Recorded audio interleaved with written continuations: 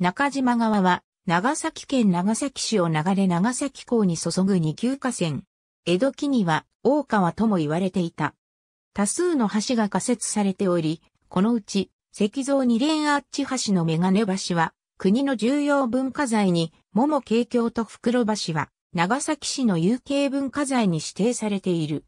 複数箇所が護岸工事されており、川岸へ降りる階段も設置されているため、観光などの目的で歩くことも可能。放流されている鯉などを水辺から間近に見ることができる。江戸時代の石像アーチ橋はすべて人口が増加していた官営から元禄期にかけて仮設されたものである。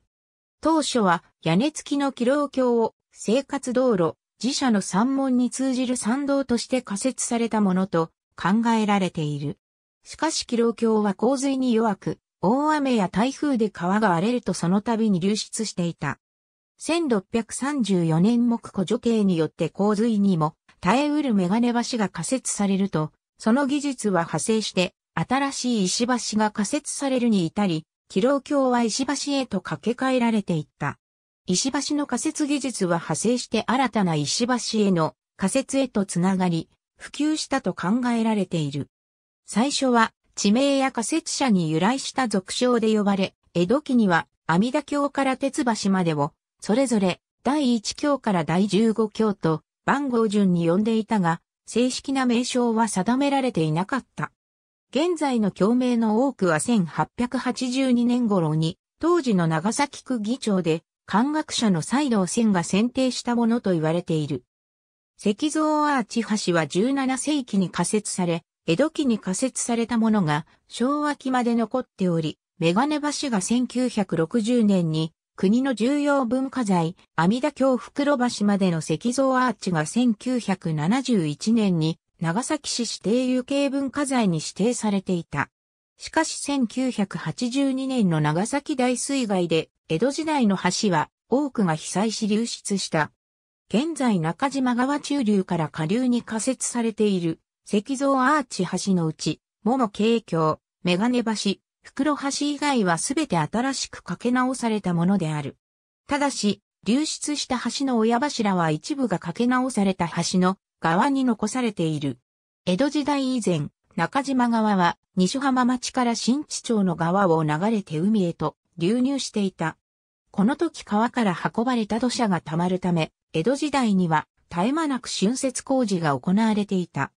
しかし、明治時代になってから浚渫工事が行われなくなり、川口へ流れた土砂が出島にあった長崎税関付近の港湾主要部を埋めるようになった。問題解決のため当時の県令北島栄朝により、中島川の整備工事が行われ、1890年により中島川はユーロを曲げて、江戸町と出島の間を経由し港湾不要部へ流入するようになった。この時、出島岸壁の埋め立て工事が行われ、出島は市街地と陸続きになった。1982年の長崎大水害では、江戸時代から残されていた多くの橋が流出、流出を免れたメガネ橋なども一部半壊の被害を受けた。災害復旧の際、最初長崎県は防災の観点から川底の掘削と川の拡幅工事、それに伴う半壊した石橋群の撤去と石橋のあった場所に近代様式の橋を仮設する提案を行った。しかし、地元住民団体が文化的財産としての橋の保存を訴え反発したため、県は方針を変更し川の両側にバイパス水路を作ることによって川の拡幅による氾濫防止と石橋群の保存、再生を両立させる形となった。放流されていた鯉を水族館にて保護した上で重機による作業を実施。1983年10月にメガネ橋、続く1984年12月に袋橋と桃慶橋の復旧工事が完了し、残る6橋は1986年5月に再仮設された橋が開通した。復旧工事の際には自然石を使って景観に配慮しつつ護岸工事を行ったほか、川の流れを妨げにくくする対策として流出した橋を従来より持ち上がりの大きい橋として設計している。この際、流出前は角柱だった6橋の高欄が、義母子付きの高欄となった。バイパス水路は1988年に、右岸バイパスが建造された、左岸側は住宅街の立ち退きなどの問題があったため着工が大幅に遅れ2006年にようやくバイパス水路が建造された。